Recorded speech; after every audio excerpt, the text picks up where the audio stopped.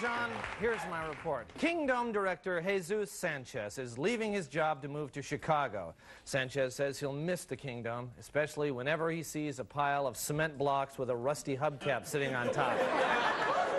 Well, Seattle author Tom Robbins has married a fortune teller named Alexa D'Avalon. D'Avalon says that she's very happy right now, and it's just too bad that the marriage will end in divorce on October 3rd, 1997.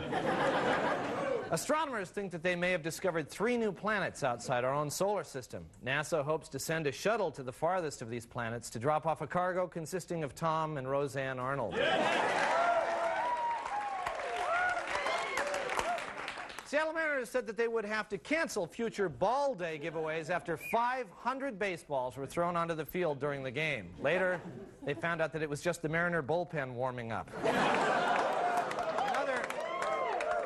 In other Mariner news, third baseman Edgar Martinez on the disabled list for the fourth time in a year says he doesn't want to be labeled injury prone. Martinez says that he'd prefer to be called playing time challenged.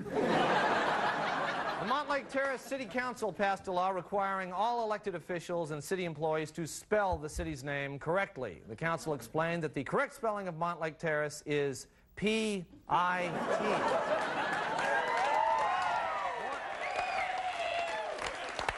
Warner Brothers is currently filming Free Willy 2 in the San Juan Islands. Now, the action packed sequel will feature the beleaguered whale trying desperately to leave the island waters, but finding himself stuck in an eight hour ferry line.